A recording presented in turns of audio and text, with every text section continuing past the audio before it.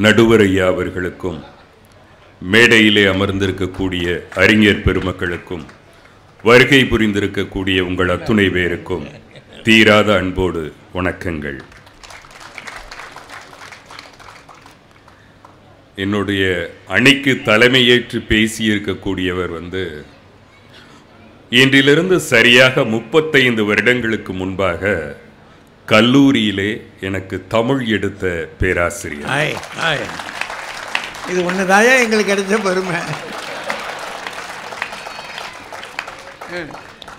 அவர் எடுத்த பாடங்கள் எல்லாம் நினைவில் இருக்கு என்று சொல்ல முடியாது. நாம் படித்ததெல்லாம் நினைவில் இருந்தால் நாம் ஒவ்வொருவருமே ஒரு தகவல் களஞ்சியமாக இருந்திருப்போம். ஆனா அவரு கிளாஸ்ல சொன்ன ஒரு வாசகம் இன்னமும் நினைவில் இருக்கு. சுத்தம் சோறு போடுன்றதுனால அமைதியா இருந்துராத சுறுசுறுப்பு தான் குழம்பு ஊத்தும் விடாமுயற்சி தான் கூட்டு பொரியல் வைக்கும். அதனால தொடர்ந்து முயற்சி செய். வெற்றின்றது இன்னொருவரை நீ வெல்லுவதல்ல. உன்னுடைய நேற்றை விட இன்று நீ முன்னேறி இருப்பாயானால் அதுதான் வெற்றி என்று அவர் சொன்னார்ல இன்று வரை அது என்னுடைய காதுகளில் ஒலித்துக் கொண்டே இருக்கு. இதுதான் பேச்சினுடைய சக்தி என்று தோன்றுகிறது. காற்று அதை அப்படியே உள்வாங்கி வச்சிருக்கிறது. காலங்களை கடந்து அதை ஒருவர் சொல்லும்போது கூட அது அதற்குரிய கனத்தோடு சென்று சேருகிறது. அன்னை தெரசா அவர்களுடைய வாழ்க்கையில் ஒரு சம்பவம். கல்கத்தா நகரத்தில் ஒருத்தர்கிட்ட போய் அன்னை கேட்குறாங்க என்னுடைய ஆசிரமத்து குழந்தைகளுக்கு ஏதாவது தாருங்கள். அந்த நபர் என்ன மனநிலையில் இருந்தாருன்னு தெரியல. அன்னையோட கையில் காரி உமிழ்ந்துட்டார். அன்னை கோபாவேசம் அடையலை. அதே கருணையோட தான் இருந்தாங்க. அந்த எச்சில் அப்படியே உடம்புல தொடச்சிக்கிட்டாங்க. இதை நான் எனக்கு வச்சுக்கிறேனப்பா. என்னுடைய பிள்ளைகளுக்கு ஏதாவது கொடு.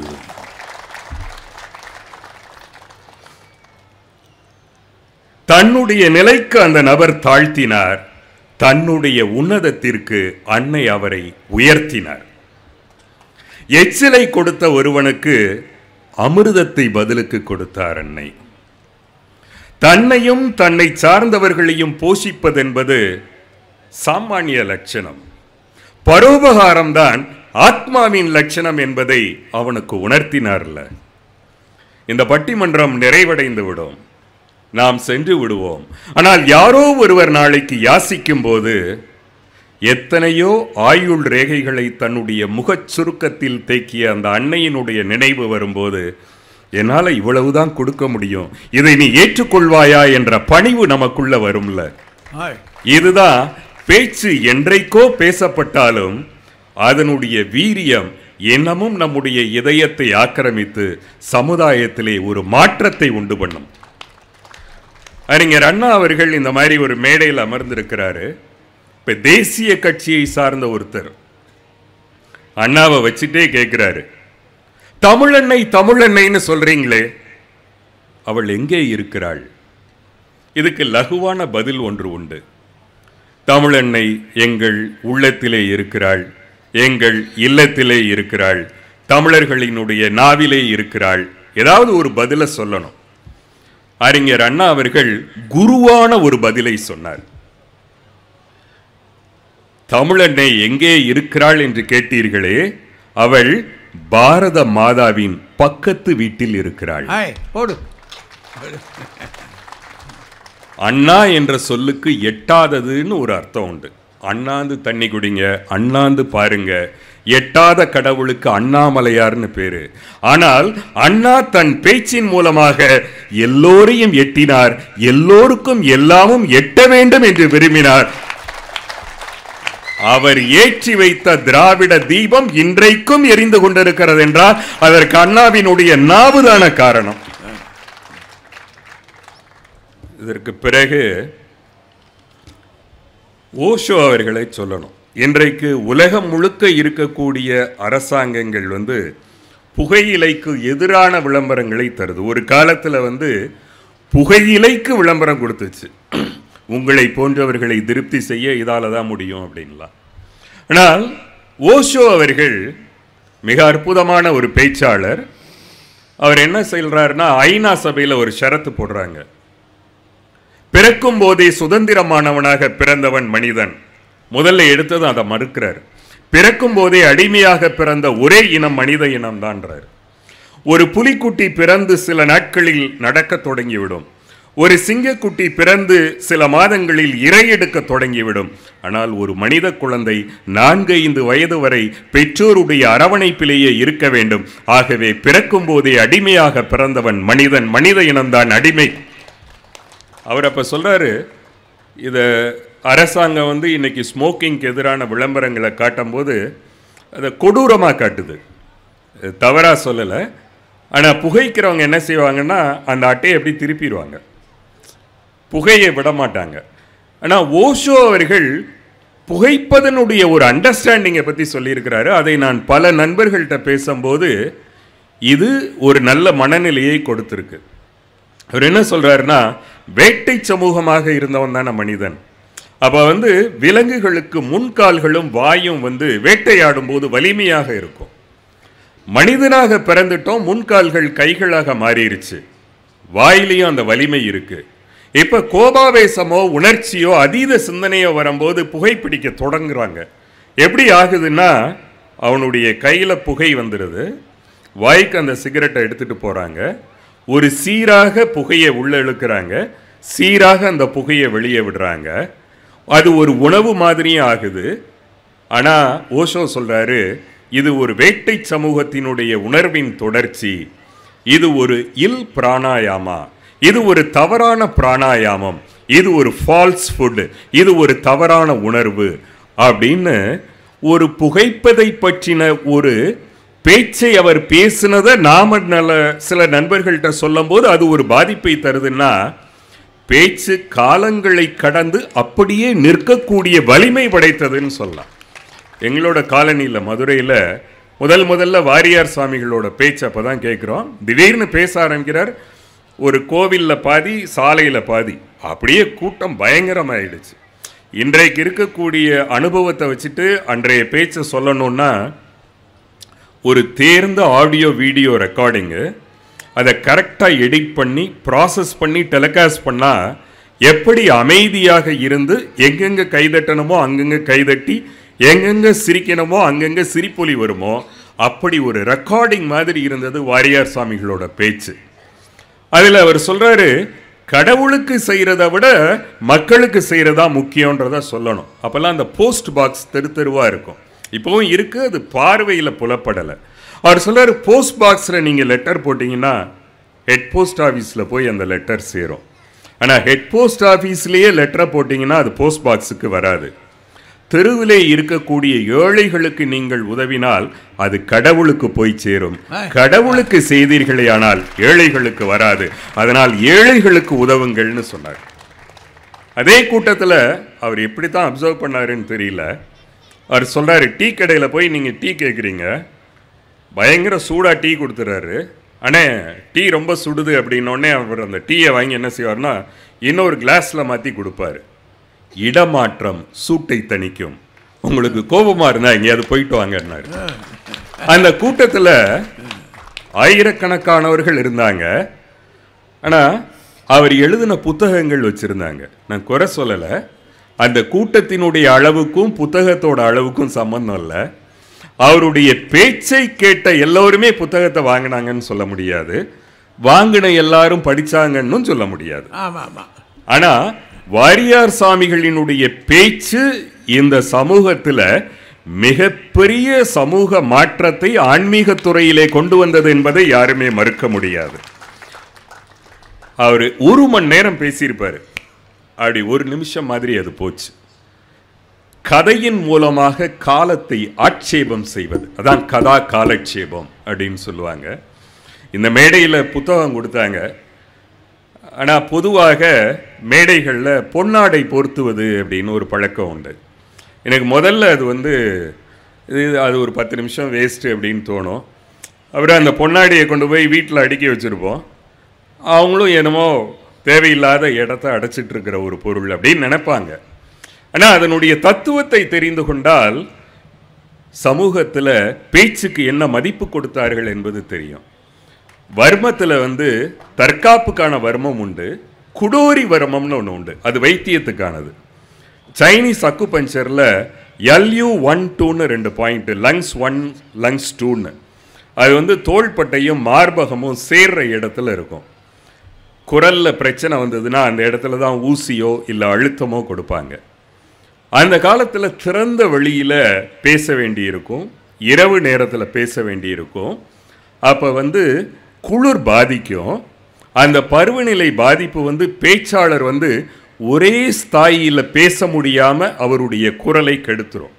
அப்போ அந்த லங்ஸுக்கான பாயிண்ட்டை மூடணுன்றதுனால கதகதப்புக்காக ஒரு ஆடையை போர்த்துவாங்க. பேசக்கூடியவர்கள் அந்த ஆடையை போத்திக்குவாங்க. ஒரு தங்கமான பையன் அப்படின்னு சொன்னோன்னா உயர்ந்த குணமுள்ளவன் அர்த்தம். தங்கமான மனசு அப்படின்னா உயர்ந்த குணமுள்ள மனசுன்னு அர்த்தம். அப்படி இந்த உலகத்திலேயே மிகச்சிறந்த ஆடை என்று தமிழர்களால் சொல்லப்பட்டது தான் அந்த பொன்னாடை. அந்த பொன்னாடை என்பதே இந்த சமூகம் பேச்சுக்கு கொடுத்த மரியாதை என்று சொல்லி நல்ல வாய்ப்புக்கு நன்றி பாராட்டி விடைபெறுகிறேன். நன்றி வணக்கம். சமூகம் பேசுகிறத கேட்கறது கேட்டுக்கிட்டே இருக்கலாம். அப்படி தான் நமக்கு தோணுது. என்ன நிறைய செய்திகள் பாருங்க. அறிஞர் அண்ணாவில் இருந்து தொடங்கி அவர் அதுக்கே இவ்வளவு வியாக்கியானம் கொடுத்துறாரு பாருங்க. அதை முடிச்சுட்டு வாரியார் சாமிகள்கிட்ட வந்துட்டார். அவர் வாரியார் சாமிகளுக்கு வந்து கூட்டம்னா குறைச்ச கூட்டமாக வந்துச்சாங்க பயங்கரமான கூட்டம் அது. எல்லாம் நிம்பிட்டு போய் எல்லாம் இருப்பான். ஒரு கேள்வியை கேட்பாரு அவன் பதில் சொல்லிடுவான் அதுக்கு ஒரு புஸ்தகத்தை குத்தி கொடுத்துருவாரு வச்சுக்கடா அப்படின்னு. அப்படி பரப்புனார் அவர். அந்த மாதிரியெல்லாம் பேச்சாளர்கள் அவர்கள் சொன்னதெல்லாம் எப்படி ஞாபகம் இருக்குது? அதுக்கு ஓசோ வரைக்கும் போகிறார் இவ்வளோ தூரம் சொல்லி முடிச்சிட்டாரா? கேட்க ஆசையாக தான் இருக்குது நேரம் இல்லையே. கட்சியில் பேச வேண்டியிருக்கு. இந்த பக்கத்தில் காற்று கிடக்க வரம்மா. ஆ. வாங்க. கவிதா ஜவர் வாங்க. பேரன்பிற்கும் பெருமதிப்பிற்கும் உரிய நடுவர் அவர்களே இரண்டு அணிகளையும் சார்ந்த அறிஞர் பெருமக்களே மிகச்சிறப்பாக புத்தகத் திருவிழாவை தமிழகமெங்கும் கொண்டு செலுத்தி கொண்டிருக்கிற பபாசி அமைப்பைச் சேர்ந்த அன்பு நெஞ்சங்களே இங்கே பெருந்திரளாக கூடியிருக்கிற என் அன்பிற்கினிய சகோதர சகோதரிகளே உங்கள் அத்துணை பேருக்கும் என்னுடைய பணிவான வணக்கங்களை கனிவோடு தெரிவித்துக் கொள்கிறேன். ஐயா எதிரணியிலிருந்து சண்முகம் சார் ரொம்ப அருமையாக பேசினாங்க. அப்புறம் என்ன? சிகரெட் தத்துவம்லாம் சொன்னாங்க. ஆனால் அந்த ஓஷோ சொன்ன தத்துவத்தை ஓஷோ சொன்ன வார்த்தைகளை அவர் தன்னுடைய நண்பர்களிடம் சொல்லி நல்ல மாற்றத்தை ஏற்படுத்தி இருக்கிறார் ஆனால் அந்த வார்த்தைகள் எங்கே இருந்து எடுக்கப்பட்டது என்றால் ஓஷோ எழுதிய தத்துவ புத்தகத்திலிருந்து எடுக்கப்பட்டது. அதை அவர் பேச்சாக மாற்றினார்.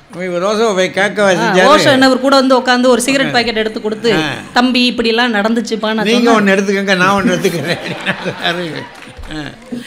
ஒரு நல்ல பேச்சாளர் இருக்கிறார் என்றால் அவர் நல்ல எழுத்தை வாசிக்க கூடியவராக இருந்தால்தான் இப்படி பேச முடியும்.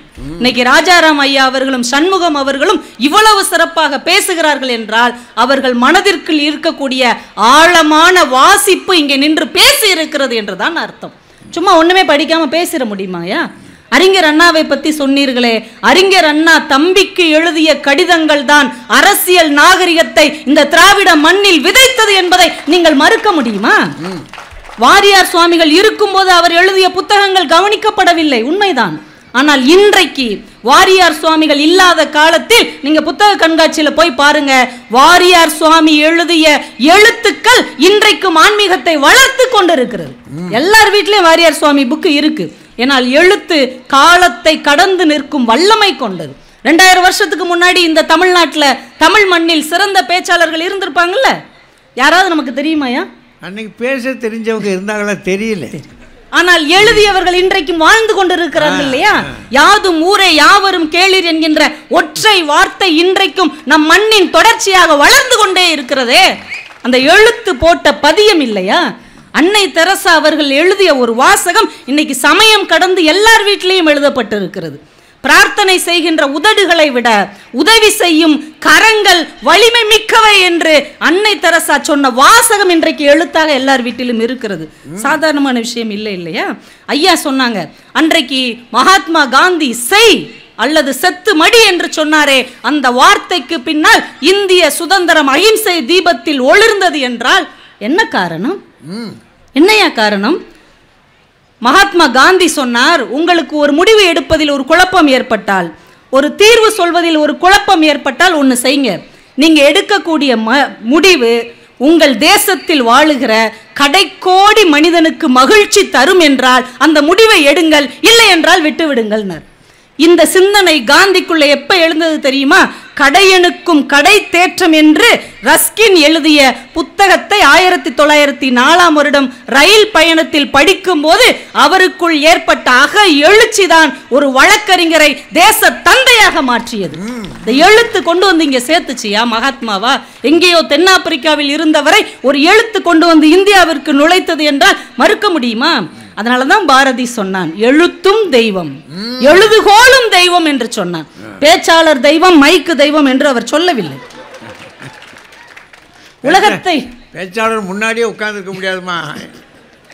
உலகத்தை தன் உள்ளங்கையில் அடக்கிய மாவீரன் அலெக்சாண்டர் அவருக்கு பாரசீக மன்னர் பாராட்டி ஒரு அழகான மிக அலங்காரம் நிறைந்த ஒரு தங்க பெட்டியை பரிசாக தருகிறார். அந்த தங்க பெட்டியில என்ன வைக்கலாம் நண்பர்கள்ட்ட அலெக்சாண்டர் கேட்கிறார். இதில் வைரங்கள் வைக்கலாமா? வைடூரியங்கள் வைக்கலாமா? கிரீடத்தை வைக்கலாமான்னு ஆளாளுக்கு ஒரு ஐடியா சொன்னாங்க. அலெக்சாண்டர் சிரித்து கொண்டே சொன்னார் இந்த அழகான மதிப்பு மிக்க பெட்டியில் தகுதி வாய்ந்த பொருளை வைக்க வேண்டும். அந்த பொருள் என்ன தெரியுமா?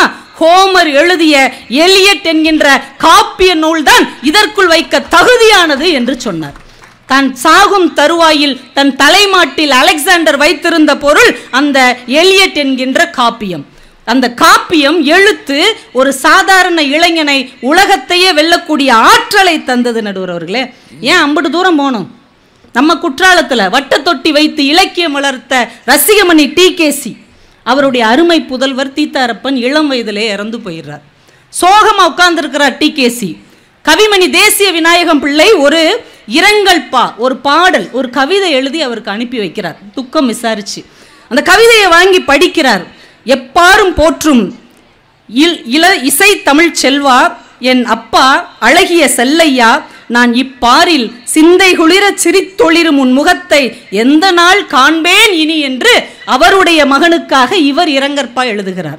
மகனை இழந்து சோகத்தில் இருக்கும் டிகேசி அந்த கவிதையை படிக்கிறார். அந்த இரங்கற்பாவை வாசிக்கிறார். வாசித்து முடித்துவிட்டு என்ன சொன்னார் தெரியுமா நண்பர்களே? இப்படி ஒரு பாடல் இப்படி ஒரு கவிதை என் தமிழ் மொழிக்கு கிடைக்கும் என்றால் இன்னொரு மகனையும் நான் இழக்கத் தயார் என்று சொன்னார். அதான் எழுத்தின் ஆற்றல். எழுத்து அப்படி ஒரு மன ஆற்றலை மன ஆறுதலை மன தேறுதலை தரும். ஆனால் பேச்சு அந்தந்த நிமிடத்தின் மழையை போன்றது எழுத்து என்றைக்கும் நிலைத்து நிற்கும் கடலை போன்றது. அது என்னைக்கும் அலையடித்து கொண்டே நம்ம மனசுல நிற்கும். பேச்சு மழையில நனைஞ்ச உடனே போயிருவோம். ஆனால் கடல் நமக்குள்ளே ஏற்படுகிற அலை மாதிரி எழுத்து அப்படியே ஏற்படுத்திக்கிட்டே இருக்கும். சின்ன வரி தான் ஒன்றும் பெருசே கிடையாது. அமுத பாரதின்னு ஒரு கவிஞர் ஹைக்கு மூணு வரியில தான் எழுதுவார். நீங்க அதை வாசிச்சு பார்த்தீங்கன்னா உங்க மனநிலைக்கு ஏத்த மாதிரி அந்த கவிதை அப்படியே மாறி போயிடும். ஒரு சின்ன கவிதை தான் எழுதியிருக்கிறார். விஷம் பாய்ச்சும் பாம்பு கூட உணவு கொடுக்கிறது பாம்பாட்டிக்கு. விஷம் பாய்ச்சும் பாம்பு கூட உணவு கொடுக்கிறது பாம்பாட்டிக்கு. இவ்வளவுதான்யா அந்த ஹைக்கு. ஆனா இது பாம்புக்கும் பாம்பாட்டிக்கும் உள்ள கவிதையா? இல்லை இல்லை. இதை படிச்ச உடனே உங்களுக்குள்ள என்ன தோணுது? எங்க விஷம் கொடுக்கிற பாம்பு கூட ஒருத்தனுக்கு சோறு போடுதியா? சோறு போட்டு பாலூட்டி சீராட்டி வளர்த்த பிள்ளை விஷமாக நம்மை கக்குகிறதே முதியோர் இல்லத்துக்கு விரட்டுகிறதே என்கின்ற எண்ணத்தை நமக்குள்ள ஏற்படுத்துகிறதா இல்லையா? அதையா எழுத்தின் வன்மை எழுத்தின் வலிமை நீங்க படிக்கிறவர்களுக்குள்ளே ஏற்படுகிற வித்தியாச வித்தியாசமான சிந்தனையை எழுத்து மட்டும்தான் தர முடியும். ஒரு வரி எழுத்து மாத்திரியா?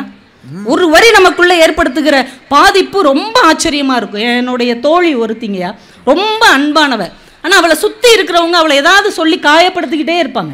அவ ஸ்டேட்டஸ்ல ஒரே ஒரு வரி தாங்க வச்சா அவளுடைய மன அழுத்தத்தை மன வேதனையை ஒரே வரியில எழுதுனா ஊசிகள் நிறைந்த உலகில் அன்பால் நிரம்பிய பலூன்கள். பாவம். ஊசிகள் நிறைந்த உலகில் அன்பால் நிரம்பிய பலூன்கள். பாவம். பாவம் உடஞ்சி போயிடும் உடைஞ்சு போயிரும்ல. குத்தி போடுவாங்க. சார் அன்பு நிறைந்த மனிதர்கள் அப்படி அன்பை சுமந்து கொண்டு பலூனா பறக்குறாங்க. ஆனால் இந்த உலக மூசியை வைத்துக்கொண்டு காயப்படுத்தி கொண்டே இருக்கிறது என்பதை இப்படி ஒரு அழுத்தமாக எழுத்தை தவிர வேற யாரால சொல்ல முடியும்? கொரோனா வந்தப்ப ஒரு வரியில ஒரு இளைஞன் எழுதுனாங்க. ஒரே ஒரு வழியில நம்மளை பார்த்து ஒரு அறிவுரை. பஞ்ச பூதங்களை நீங்கள் அழித்தால் பஞ்சம் பூதமாக வந்து உங்களை அழிக்கும். என்னய்யா எவ்வளவு அர்த்தம் நிறைந்த ஒற்றை வரிக்குள்ளே நம்மளை எவ்வளவு திரும்பி பார்க்க வச்சுட்டான்? மிர- மிரட்டி மிரட்டிட்டான்ல என்ன இவ்வளவு நாள் இயற்கையை போட்டு அழிச்சோம்ல? அது நம்மள சோழியை முடிக்க வந்துருச்சு.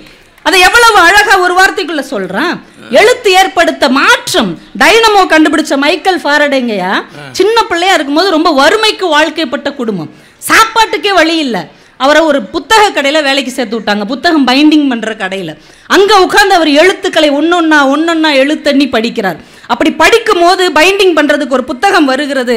ஐஸ் அண்ட் வாட்ஸ் அப்படிங்கிறவர் எழுதின இம்ப்ரூவ்மெண்ட் ஆஃப் தி மைண்ட் அந்த புத்தகத்தை படிக்கிறார். அது வரைக்கும் வாழ்க்கை என்பது விதியால் தள்ளப்பட்டது என்று தன்னை நொந்து போனவர் அந்த புத்தகத்தை வாசிக்க வாசிக்க விதி என்பது உலகத்தில் இல்லை. மனித மனம் நினைத்தால் விதியை மாற்றி அமைக்க முடியும் என்கின்ற நம்பிக்கையை புத்தகம் அவருக்கு தந்தது. அவர் டைனமோவை கண்டுபிடித்தார். அறிவியல் உலகில் தன்னுடைய வரலாற்றை பதிவு செய்தார் என்றால் புத்தகம் மாமனிதர்களை உருவாக்கும். பேச்சு ரசிகர்களை மட்டுமே உருவாக்கும். மறந்து விடாது ஆய் ஆய் ஆ. ஏன் நாலு வருஷத்துக்கு முன்னாடி நடந்த ஒரு விஷயம்யா. அமெரிக்காவில் வர்ஜீனியா அப்படின்னு ஒரு ஊர். அங்கே வெள்ளக்கார இளைஞர்கள் சின்ன பசங்க பதிமூணு பதினாலு வயசு பசங்க என்ன பண்ணிட்டாங்க? இந்த கருப்பின பிள்ளைகள்லாம் படிப்பாங்கல்ல அந்த பள்ளிக்கூடத்தில் இரவு நேரத்தில் போய் அவங்க மொழியை பற்றி அவங்க இனத்தை பற்றி தாறுமாறாக எழுதி எழுதி வச்சுட்டு ஓடியாந்தாங்க. கூப்பிட்டு ஊர் பெரியவங்க கண்டிச்சு பார்த்தாங்க சொல்லி பார்த்தாங்க கேட்கவே இல்லை அதை தொடர்ச்சியாக செஞ்சாங்க.